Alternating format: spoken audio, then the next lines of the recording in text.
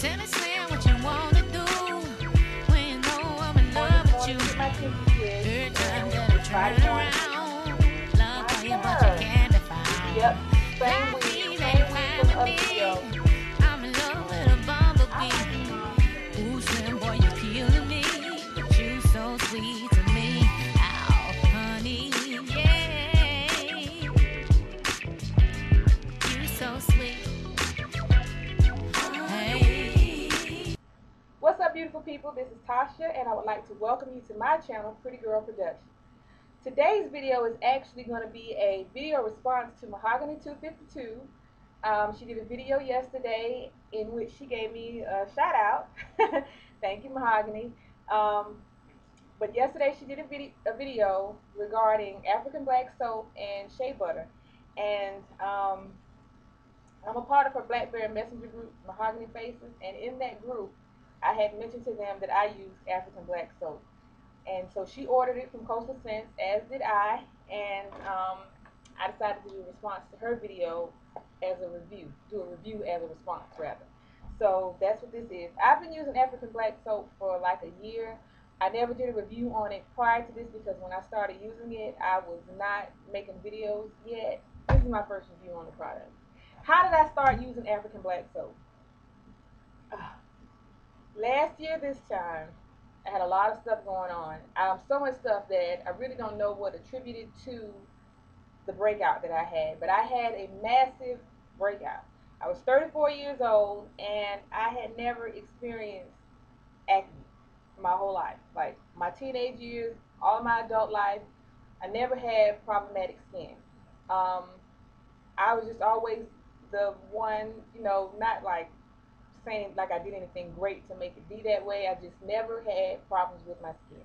I was the girl that got a pimple when my cycle was coming on, really, and that was it. And it would usually be one.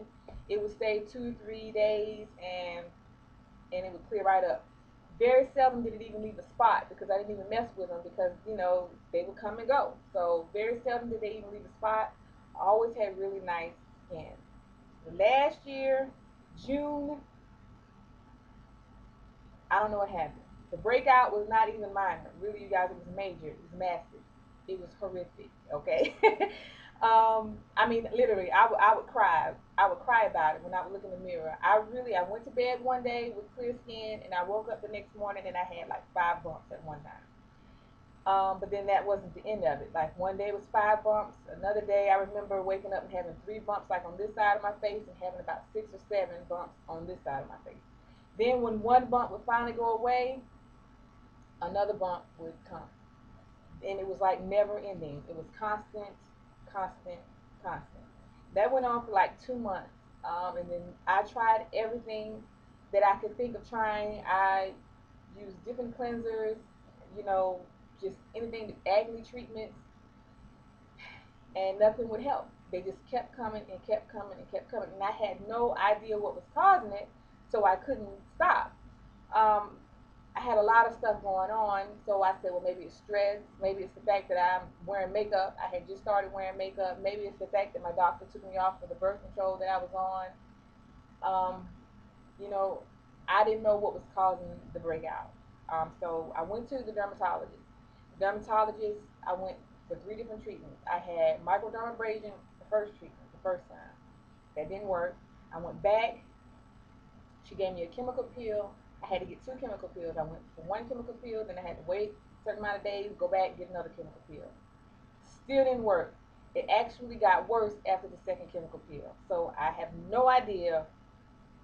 I paid a lot of money for those procedures to just have have it not work. So I was a big fan of YouTube at the time. So I just logged on one day and just, you know, typed in something like cures for acne, how to stop pimples, how to stop breakouts, whatever. And I mean, so many videos came up about African black soap, y'all, it was ridiculous. So I watched video after video after video of people saying that, it, you know, it helped them with their acne, it helped clear up the dark spots, which I, at that point, had a lot of dark spots. And, um, so I, you know, and a lot of people were getting it from Coastal Scents. I went on the internet, I researched African black soap, and for the most, I think the mo- the majority of the people loved it. I would say about 85 90% of the people that I came across loved the African black soap. And then you had maybe 15, 10 15% of the people saying that they didn't like it because it burned their skin. Um, they didn't like the burning feeling that it, that it gave them, so they didn't use it. I went ahead and decided to take my chances, even though I knew I had sensitive skin.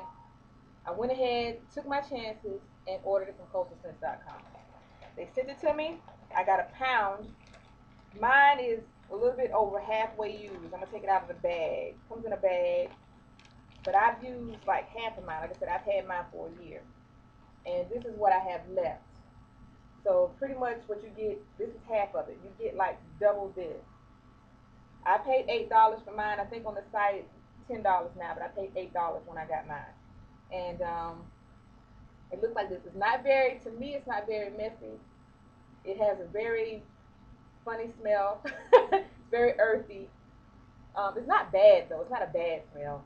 You know, I can definitely stand it. It's not bad. But basically, you just break off a chunk, just a little chunk. You don't even need a lot, you guys. You can break off a chunk like this. A chunk like this will last you like three weeks. You can take a piece like this and use it for about three weeks. That little piece. So don't throw any of it away. Even if it melts, use it like liquid soap. Okay. As soon as I got it, as soon as it came, took it out of the bag, broke me a chunk off of there. it lathers up beautifully. Um, and you guys, I lie to you not. Immediately, I saw a difference. Um, let me tell you what it did. The bumps that I had on my face, they just, the soap, whatever is in that soap, dried the bumps up. Within about two weeks, my face was bump free. Now, I still had dark spots, but it had no more bumps on my face. Every single bump that was on my face had dried up and gone to hell. Thank you very much. It's very happy. And um, I was so happy to have the the bumps gone away that I wasn't really concerning myself with the dark spots that it had left. But over time, not even a long time, the bumps faded. The bumps, the, I'm not the bumps, but the dark scarring had started fading. My skin tone started looking better. Skin had a nice natural shine. Um, but the fine lines and everything, they started, everything started tightening back up and you couldn't see the fine lines. They just weren't really there anymore. Also, I have dermatitis. I have contact dermatitis. When something touches my face that does not need to touch my face, I get really, the dermatitis just flares up in this area. So I have to be very careful what goes on my face. And um, you guys, I'm telling you, when I would have a breakout from that, um, that would last me, that would just stay for a week, week or two. I have some cream that goes on it that the, the, the dermatologist gave me, but that does not work like this one. When I wash my face with this stuff, two or three days, it's dried up. It's just back, back to normal. So this stuff is really just like a holy grail product. I will always purchase this. I might actually just go ahead and get some more. Did it burn my face? That's one thing I wanted to make sure I, that I said. It did burn.